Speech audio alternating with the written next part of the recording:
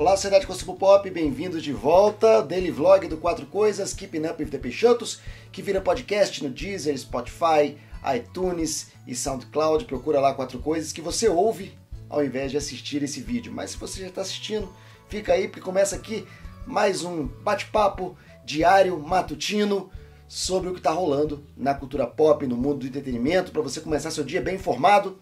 E a principal notícia de ontem foi a liberação de fotos, fotos do que promete ser o novo clássico da ficção científica, a nova franquia de ouro, a nova meninas, meninas dos olhos da Warner, que é Duna. Duna, clássico de ficção científica, escrita por Frank Herberts e que está sendo prometido desde 2016 uma versão definitiva dessa saga de ficção científica para o cinema, dirigido pelo Denis Villeneuve, mesmo diretor de Blade Runner 2049, mesmo diretor de A Chegada, também filmes indicados ao Oscar, que venceram Oscars e que ele está se dedicando com um projeto da vida dele. E ontem tivemos uma foto vazada que é do personagem principal, o Timothy Chalamet, que interpreta o Paul Atreides. Gente, eu vou pedir desculpa pela pronúncia, porque às vezes, às vezes quando a gente lê, a gente não pega a pronúncia. E é por isso que eu falo Gandalf até hoje. Então é muito difícil pegar essas pronúncias assim, falar certinho. Eu vou falar mais ou menos como é que eu lia. Então vamos lá. E na foto ele aparece caminhando pensativo pelas praias do seu planeta de origem, Caladan, que é um planeta oceânico, pouco antes de viajar com toda a família, a família no caso, o clã Atreides, onde eles vão viajar para um novo planeta, dessa vez um planeta desértico, bem diferente do que eles estão acostumados, onde eles vão tomar posse do planeta Arrakis, onde estão as minas de melange, que é uma, uma especiaria, chama de spice, muito valiosa, não só para viagens interestelares, como ela também aumenta a vida e dá superpoderes ao usuário. E lá eles vão se confrontar com a outra casa rival, a casa Harkonnen, e claro, os vermes gigantes subterrâneos que habitam o planeta de Arrakis, que são um super problema para quem quer cavar naquela região. E é uma ambientação monstruosa, uma ambientação gigante que tem muitos detalhes e é por isso mesmo que eles vão adaptar o primeiro livro em dois filmes. Então, se o primeiro for muito bem, eles fazem o segundo e por aí vai. E pegaram o primeiro livro, cortaram em dois, mais ou menos que foi feito com It, do Stephen King. Eles vão dividir o primeiro livro e contar a primeira parte no filme. Isso é muito bom porque o filme já foi adaptado anteriormente, em 84, com o diretor David Lynch, que é um craque, um gênio. Só que o David Lynch teve muita dificuldade em adaptar esse romance pelas grandes expectativas do estúdio, por ser um blockbuster, por ser um filme com, é, com um grande orçamento, e ele acabou se enrolando e no final o estúdio tirou da mão dele a edição final e teve que ser tudo compactado em duas horas. Então o filme tem vários problemas por conta disso, e são problemas que o Denis Villeneuve não quer é, passar. Então ele decidiu fazer aos poucos, fazer a história aos pouquinhos. No total são cinco livros e um conto, e ele vai fazer só a primeira parte do primeiro livro, onde conta essa é, primeira fase no universo de Duna. É interessante desse universo de ficção científica é que você não vai encontrar nem computadores nem robôs. Eles são proibidos. Qualquer máquina pensante é proibida nesse universo. Então é uma oportunidade uma, da fonte humana, da, do aspecto humano, do aspecto filosófico ser bastante é, desenvolvido nessa, nessa saga de ficção científica. E o elenco é estelar, o elenco é gigante, a gente pode ver nas fotos aqui. Já podemos ver o Oscar Isaac e a Rebecca Ferguson, que são os pais do Paul Atreides, é o Duque Leto e a Lady Jessica.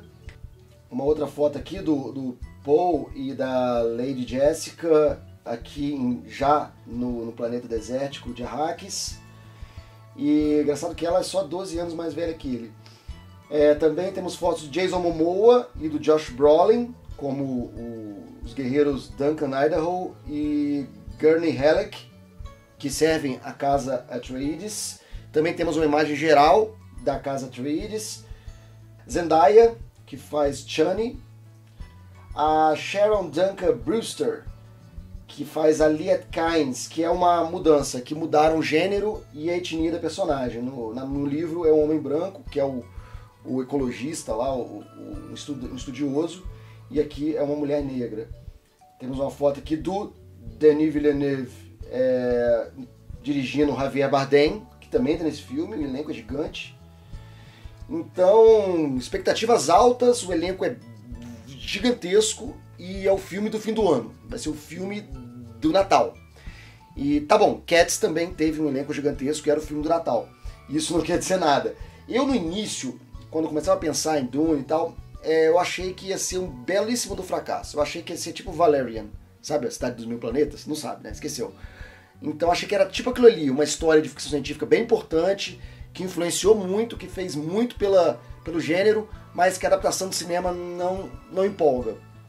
Porém, lendo bastante e vendo esse elenco e vendo as fotos e principalmente imaginando o momento que o mundo estará no final desse ano, tô, depois dessa pandemia, depois da situação econômica que virá, então eu acho que é o cenário perfeito para um bom filme de ficção científica, para discutir o aspecto humano, para discutir o aspecto, para discutir o destino da humanidade, para discutir é, relacionamento, para discutir sociedade e para discutir fim do mundo, né?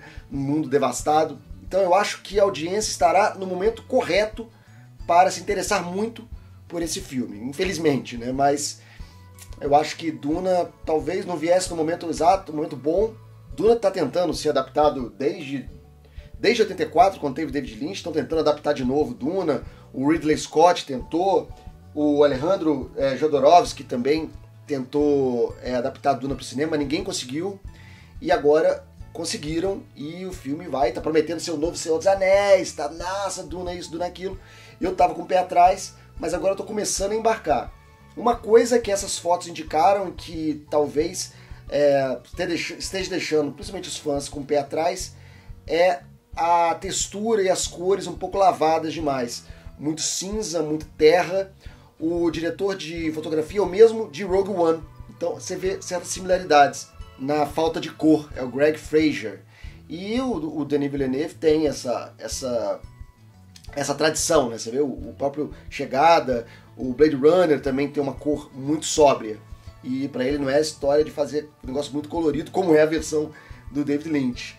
O legal é que tem muitas imagens em loco, em, em locações, foram gravadas no deserto de Abu Dhabi, na Jordânia. Então, o filme está vindo com muita expectativa, com muito poder de fogo, para poder realmente conquistar as pessoas e criar uma nova franquia cinematográfica baseada em um romance, que eu falei, teve cinco volumes, e que uh, é a ficção científica mais vendida no mundo.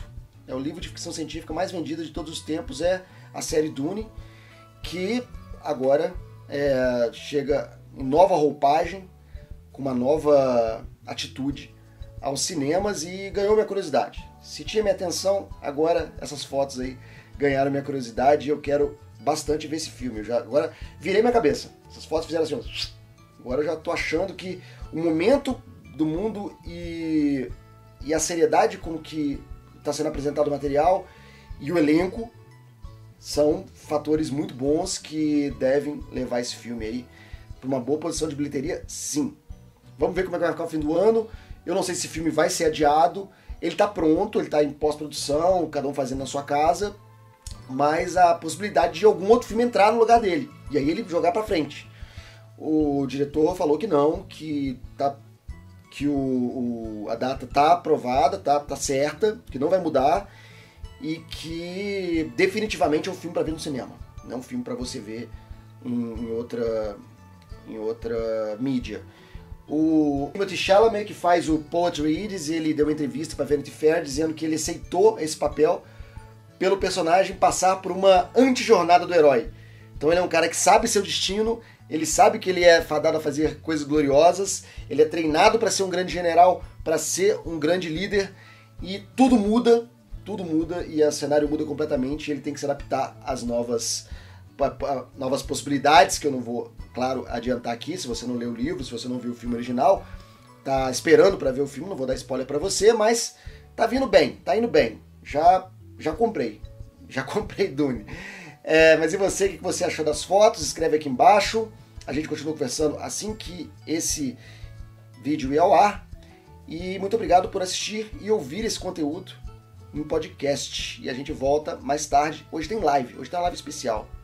Hoje eu vou fazer uma live jogando videogames clássicos retrô de uma certa franquia muito legal dos quadrinhos que vocês conhecem bem. Até lá, tchau!